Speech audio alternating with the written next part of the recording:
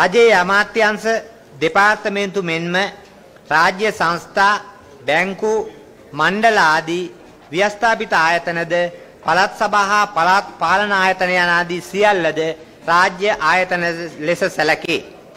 මෙම ආයතනවල රාජ්‍ය දීපල ජනාධිපතිවරණයේදී පක්ෂ අපේක්ෂක ප්‍රවර්ධනය සඳහා නැතොත් අගතියටපත් කිරීම සඳහා භාවිතා කිරීම සපුරා තහනම්ය.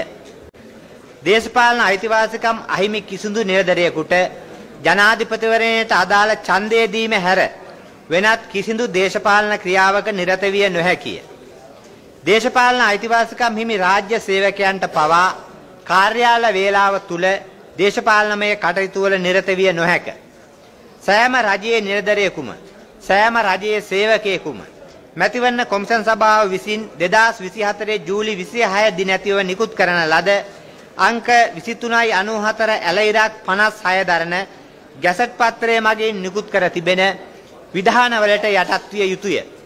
මෙම විධාන සියලුම රජයේ නිලධාරීන් විසින් පිළිපැදිය යුතු බව ලිපි මගින් රූපවාහිනී මගින් ගුවන් විදුලි මගින් පුවත්පත් මගින් ප්‍රකාශයට පත් කර ඇත. එම විධාන අනුගමනය කරන ලෙස මේ අවස්ථාවේ සියලුම රජයේ නිලධාරීන්ගෙන් ඉල්ලා සිටීමට කැමැතියි. එසේම එම විධාන කඩ කිරීමට කිසිදු නිලධාරියෙකු පෙළඹවීමෙන් වළකින ලෙස මේ ස්ථානයේ සිටින සියලුම අපේක්ෂකයන්ගෙන් ඒ වගේම නියෝජිතයින්ගෙන් සහ ආධාරකරුවන්ගෙන් ඉල්ලා සිටීමට කැමැතියි.